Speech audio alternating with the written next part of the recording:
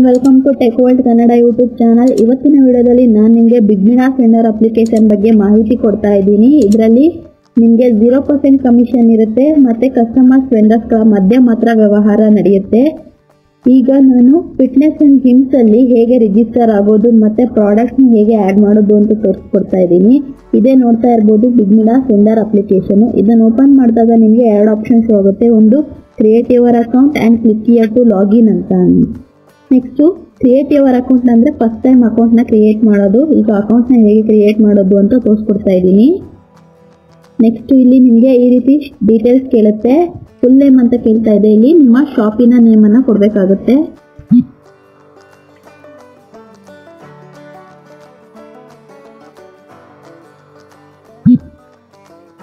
Next email address ಕೇಳ್ತಾ ಇದೆ. ನೀವು ನಿಮ್ಮ ಇಮೇಲ್ ಅಡ್ರೆಸ್ನ ಇಲ್ಲಿ ಹಾಕಬೇಕಾಗುತ್ತೆ. ನಾನು ಕೊಡ್ತಾ ಇರೋದಿಲ್ಲೆಲ್ಲ ಜಸ್ಟ್ ಎಕ್ಸಾಂಪಲಿಗೋಸ್ಕರ ನೀವು ನಿಮ್ಮ ಒರಿಜಿನಲ್ ಡೀಟೇಲ್ಸ್ನ ಇಲ್ಲಿ ಫಿಲ್ ಮಾಡಬೇಕಾಗುತ್ತೆ.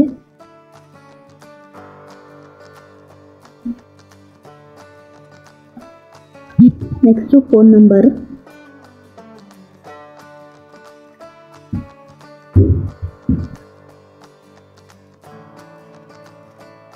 ನೆಕ್ಸ್ಟ್ ನೀವು ಕೊಟ್ಟಿರೋಂಥ ನಂಬರ್ಗೆ ಒ ಟಿ ಪಿ ಬರುತ್ತೆ. ಆ ಒ ಟಿ ಪಿನ ನೀವು ಇಲ್ಲಿ ಎಂಟರ್ ಮಾಡಬೇಕಾಗುತ್ತೆ.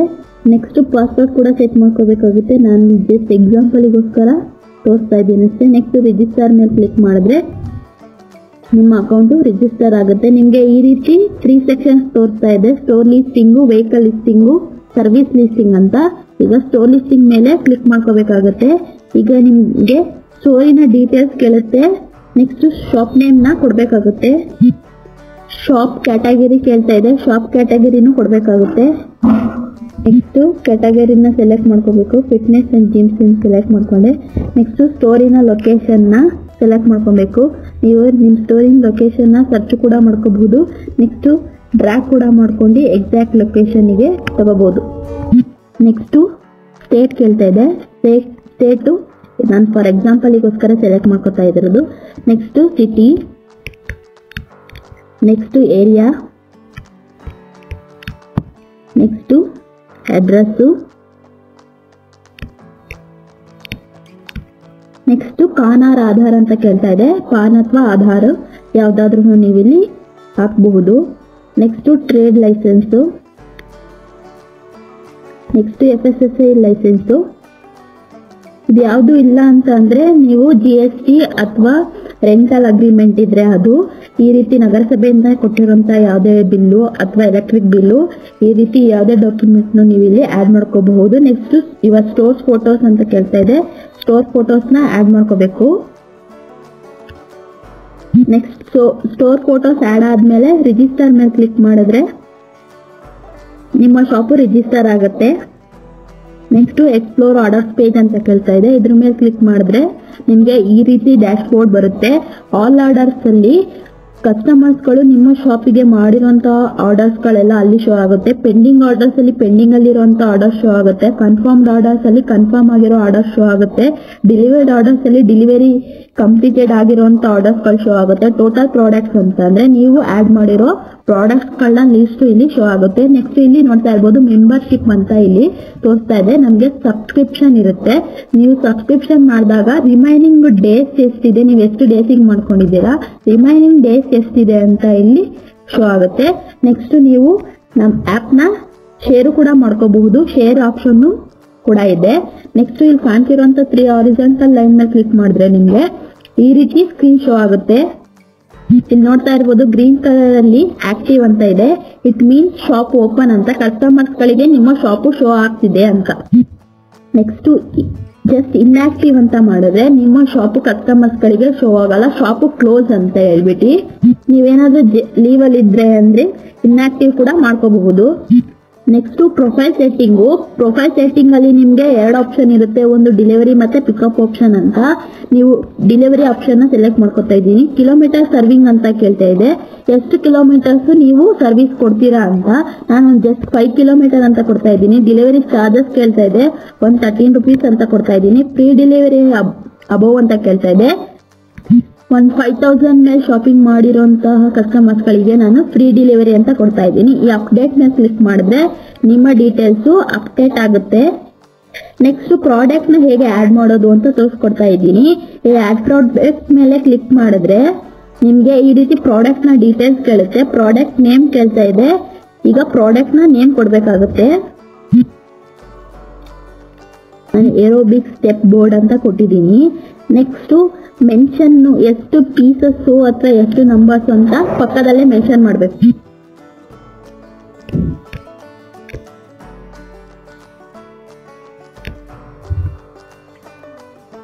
ಒನ್ ಪೀಸ್ ಅಂತ ಕೊಡ್ತಾ ಇದ್ದೀನಿ ನಾನು ಇವಾಗ ಜಸ್ಟ್ ನೀವು ಪಕ್ಕದಲ್ಲೇ ಮೆನ್ಷನ್ ಮಾಡಬೇಕು. ನೆಕ್ಸ್ಟ್ ಸಬ್ ಕ್ಯಾಟಗರಿ ಕೇಳ್ತಾ ಇದೆ. ಸಬ್ ಕ್ಯಾಟಗರಿ ತಗೋಬೇಕು. ಫಿಟ್ನೆಸ್ ಅಂತ ತಗೊತಾ ಇದ್ದೀನಿ. ಒರಿಜಿನಲ್ ಪ್ರೈಸ್ ಕೇಳ್ತಾ ಇದೆ.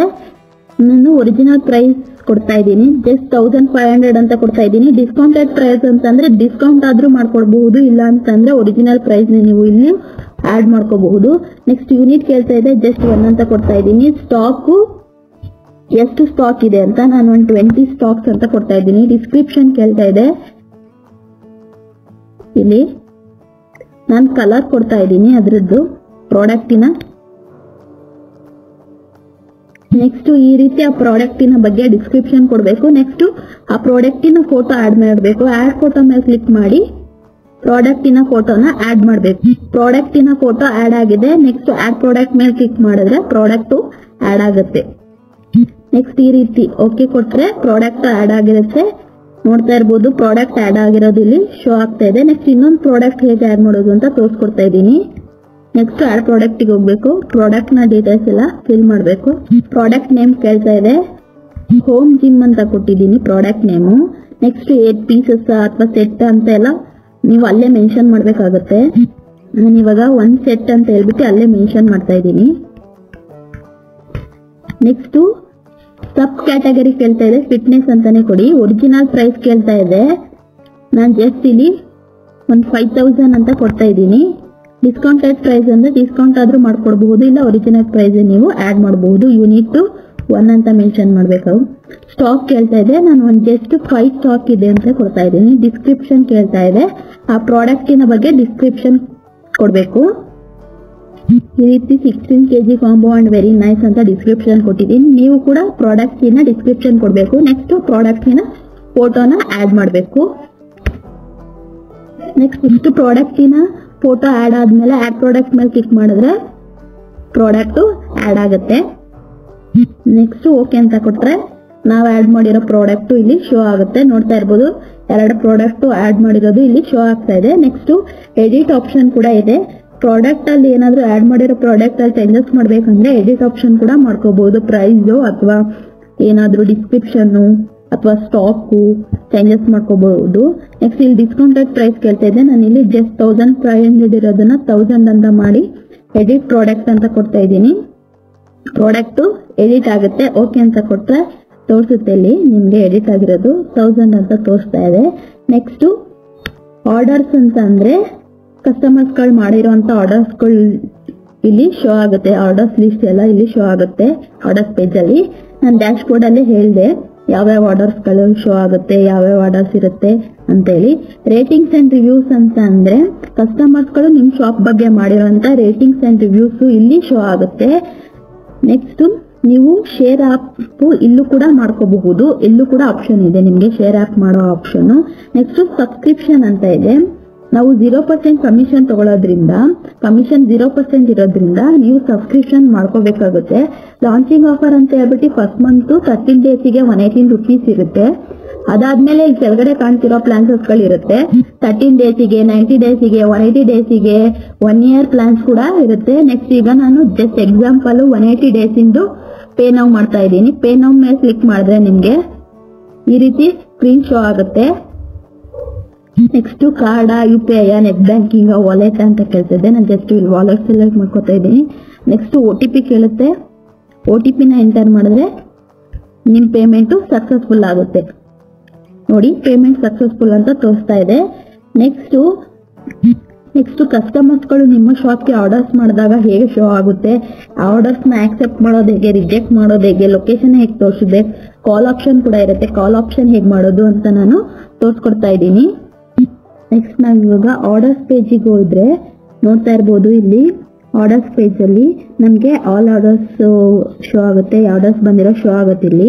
ಇಲ್ಲಿ ನೋಡ್ತಾ ಇರ್ಬೋದು ಒಂದು ಆರ್ಡರ್ ಬಂದಿದೆ ಇವಾಗ. ಆರ್ಡರ್ ಐ ಡಿ ತೋರಿಸ್ತಾ ಇದೆ ಪ್ರಾಡಕ್ಟ್ ನೇಮ್ ತೋರಿಸ್ತಾ ಇದೆ customer name phone number date time ಯಾವಾಗ ಮಾಡಿದ್ದು ಅಂತಾನು ಕೂಡ ತೋರಿಸ್ತಾ ಇದೆ. ಇಲ್ಲಿ ಆಕ್ಸೆಪ್ಟು ಲೊಕೇಶನ್ ರಿಜೆಕ್ಟ್ ಅಂತ ಇದೆ.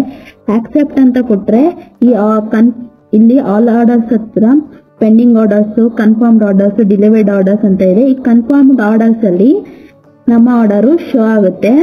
ಆರ್ಡರ್ ಶೋ ಆಗುತ್ತೆ. ನೆಕ್ಸ್ಟ್ ಇಲ್ಲಿ ಲೊಕೇಶನ್ ಅಂತ ತೋರಿಸ್ತಾ ಇದೆ. ಕಾಲ್ ನಾವು ಅಂತ ಕೊಟ್ರೆ ಕಸ್ಟಮರ್ಸ್ ಗಳಿಗೆ ಡೈರೆಕ್ಟ್ ಕಾಲ್ ಹೋಗುತ್ತೆ. ಲೊಕೇಶನ್ ಅಂತ ತೋರಿಸ್ತಾ ಇದೆ. ಕಸ್ಟಮರ್ಸ್ ಲೊಕೇಶನ್ ತೋರಿಸುತ್ತೆ. ಕಸ್ಟಮರ್ ಲೊಕೇಶನ್ ನೋಡೋಣ.